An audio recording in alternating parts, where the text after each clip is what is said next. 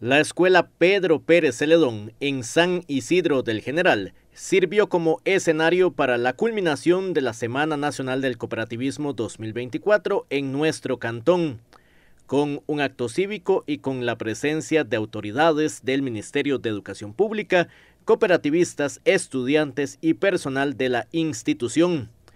La escuela Pedro Pérez cuenta con una cooperativa escolar denominada Copedrito y que es de gran impulso para los estudiantes. Copedrito es la cooperativa nuestra que representa el Centro Educativo Pedro Pérez Celedón y tiene muchos años de fundada y tiene una gran huella dentro de los estudiantes nuestros. Es un honor que la Dirección Regional de Educación y la Comisión de Cooperativismo nos haya escogido para hacer y, organizar la clausura de la Semana Nacional del Cooperativismo.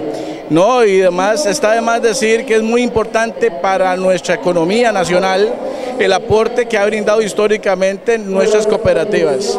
Las cooperativas han traído desarrollo nacional y desarrollo regional a los pueblos costarricenses. Una semana que en la Unión de Cooperativas del Sur definen como exitosa y que sirve para impulsar nuevas ideas. Sí hemos tenido una participación de las cooperativas ya bases eh, constituidas en nuestro cantón que anteriormente no, nos acompañaban en las actividades, pero yo creo que el llamado estuvo bien y yo creo que vamos sobre una línea, sobre un trabajo que hemos hecho esta semana, sobre un trabajo que, lo sigo repitiendo, vamos a hacer con los, colegios y escuelas cooperativas para poder seguir fomentando y que siempre exista ese relevo, ese relevo que hemos hablado de futuro.